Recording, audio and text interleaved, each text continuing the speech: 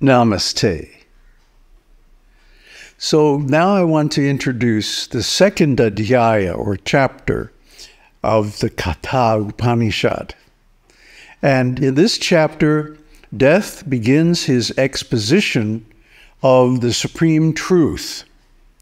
And the supreme truth is defined in Bhagavad Gita as Jnanam tehang savijnanam idang vakshyam yasheshataha yajgyatva neha bhuyonyaj gyatvyam avashishyate.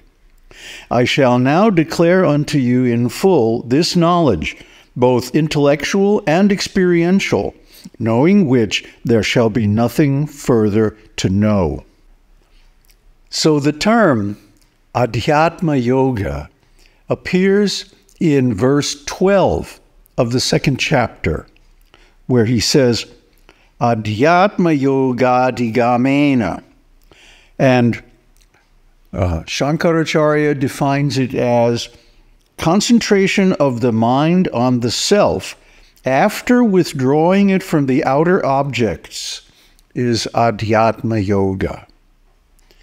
And if we look in the Sanskrit dictionary, we find a wealth of material on this term. Um, let me just read a few things here. The primary definition is the Supreme Spirit, own or belonging to self with a capital S. The Supreme Spirit manifested as the individual self, or the relation between the Supreme and the individual. Concentration of the mind on the Atman, drawing it off from all objects of sense. That's the definition Shankara uses here. And finally, one who delights in the contemplation of the Supreme Spirit, which is really the most delightful thing there is. But we'll get to that. First of all, how do we get there? How do we get to this contemplation of the Supreme? By withdrawing the mind from the senses, right? Good old pratyahara. Huh? In Ashtanga Yoga, there's yama, niyama, then asana, pranayama, breath control. And the very next step is pratyahara. Now, I have never found someone who claims to be teaching yoga, uh, or especially Ashtanga yoga, who can teach how to withdraw the mind from the senses. And actually, the clue is given here in this Upanishad. And it requires a little intelligence, huh? which is maybe why the typical yogis don't get it, because it's rather subtle. And death says that. This is a subtle subject matter, and even the gods have trouble with it. Even the devas find it difficult to understand. So, what to speak of common people, you know, who just uh, call yoga the asanas alone? Actually, the whole yoga system is one thing.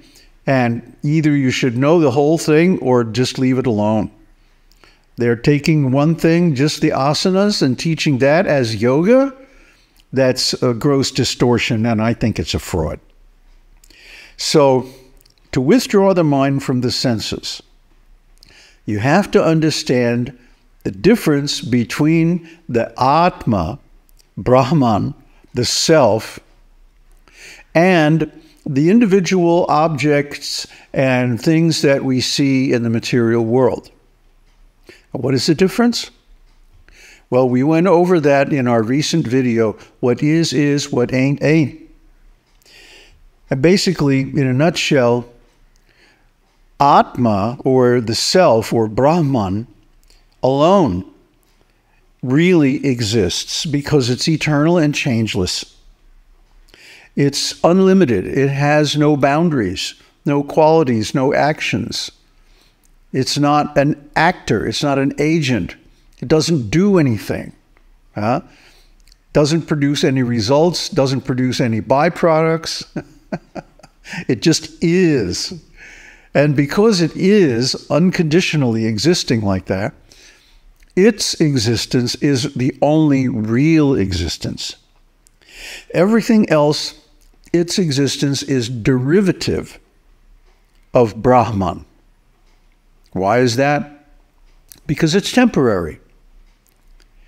It begins at a certain time, lasts for a while, and then disappears. Isn't it? Everything that we perceive is like that. Even this material universe, although it lasts for a very long time, eventually is destroyed by the dance of Shiva, the Tandava, Shiva Tandava. And he burns it to a crisp, he burns it to ashes. Uh, that's why when we put on the Tripundra, we say a little prayer the earth is ashes, air is ashes, water is ashes, fire is ashes, even space is ashes.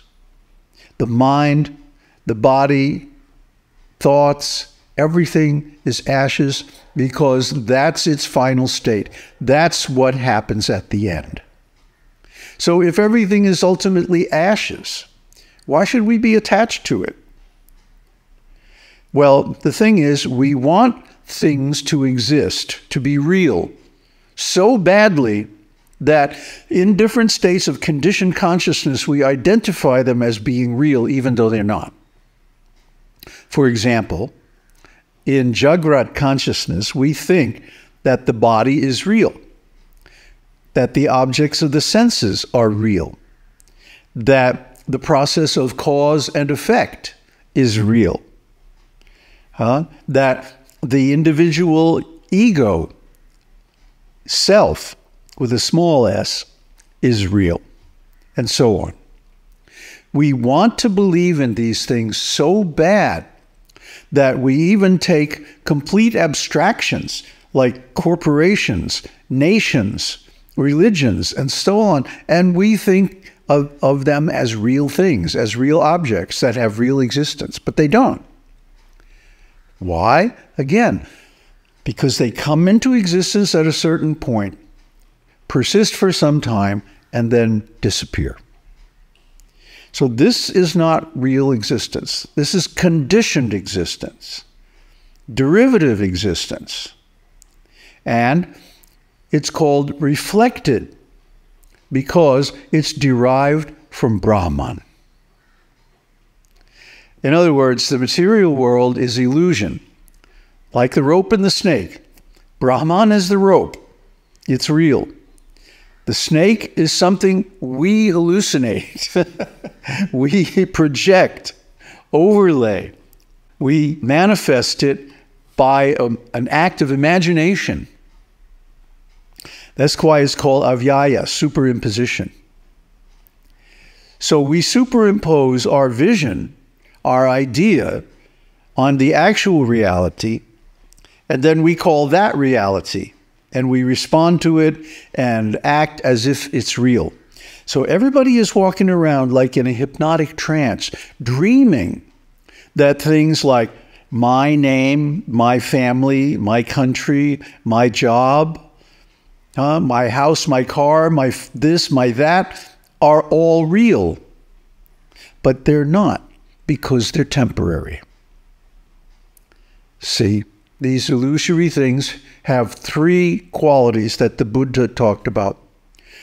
They're temporary or impermanent, they're suffering or unsatisfactory, and they're not self because they are perceived by the self. The self cannot perceive itself.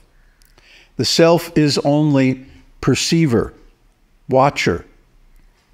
But that which perceives is never that which is perceived. That's why we can't see consciousness. That's why we can't see Brahman. That's why we can't see that which really exists because it's only subjective. It's never, ever objective. If it were, it wouldn't be the absolute. It wouldn't be absolutely real. It would be one of the phenomenal objects, temporary. impermanent, suffering, imperfect, and not self. So then, Brahman is that which is really real. It is permanent. It never comes into existence. It always exists. And it never goes out of existence. It's eternal. It's perfect because it never changes. It has no qualities, so there's nothing to change. It performs no actions because it's not an actor. It has no objects to act on. It simply is the subject, the universal subject. And finally, it is the self, the self of all living beings, including you and me. so, when we load this view into our intelligence and we start to see that the existence, the consciousness, and the beauty or joy that we perceive in objects is simply borrowed, simply reflected from Brahman. Brahman is Sat Chit Ananda, absolute existence, absolute consciousness, absolute bliss. And so all of the apparent existence, consciousness, and bliss that we perceive in various objects is simply a reflection of Brahman. There's a beautiful verse in Srimad Bhagavatam. Uritirtang yat pratiyeta na pratiyeta chatmani tadvidyad atmano mayam yata bhaso yata tamaha. O Brahma, whatever appears to be of any value, if it is without relation to me, has no reality. Know it as my illusory energy, that reflection which appears to be in darkness.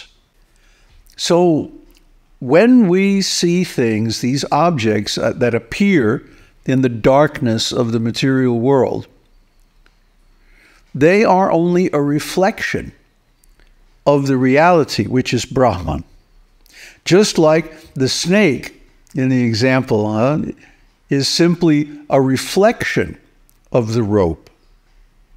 It's not really the rope, and in fact, it doesn't even really exist at all. We simply project it, we imagine it. Huh? Its only reality is an illusion. It's a real illusion, it's a real mirage. It's a real hallucination. Huh? Terence McKenna wrote a book one time, Real Hallucinations. That's very apt.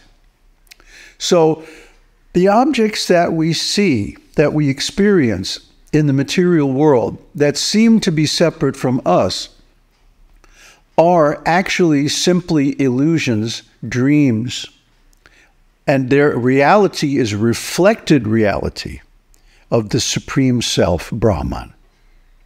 We sometimes hear about the light of Brahman, but that's not an ordinary light like the sun or like an electric light or something like that. The light of Brahman is existence. So when something is illuminated by Brahman, it appears to exist. But like any object being illuminated by a light, it's actually only reflecting the light. Huh? You might see a little reflection on my cheek here of the light coming in the window. So the light is not illusion based on the actual existence in Brahman. And if we see like that, we automatically become detached. And that is the beginning of Adhyatma Yoga. Om Tat Sat. Om Shakti Om. Om Namah Shivaya.